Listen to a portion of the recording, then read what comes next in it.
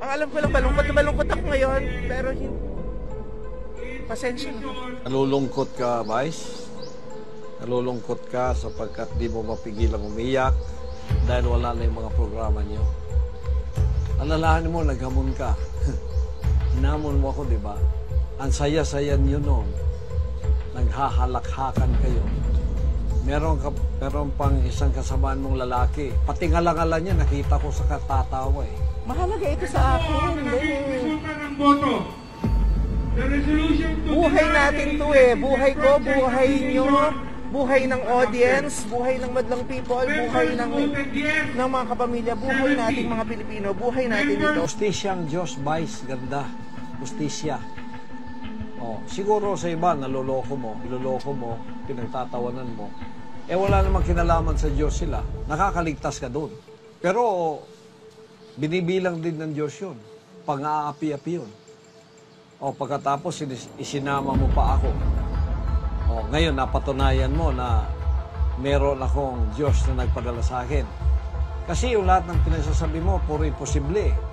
Sige nga, Kiboloy, punta ka sa EDSA, pahintuin mo traffic. Sige nga, Kiboloy, pahintuin mo ang probinsyano.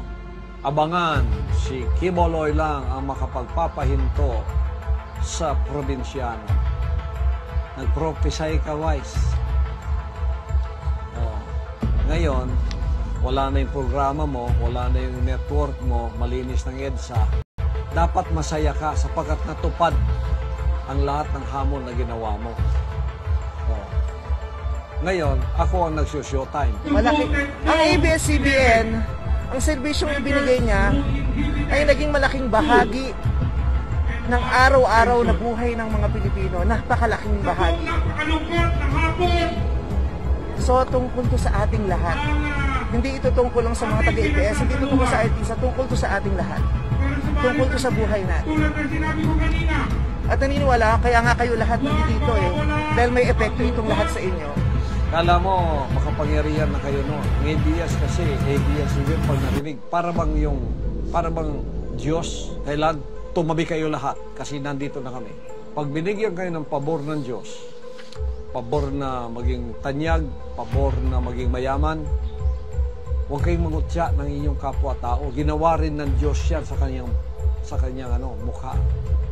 Oh. Gamitin niyo sa kabutihan. Kabutihan. Ngayon, umiiyak ka. E noon, humahalakhak ka. Tapos tawa kayo ng tawa.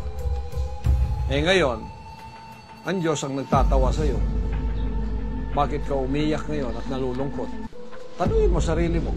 Yun ang dahilan ba?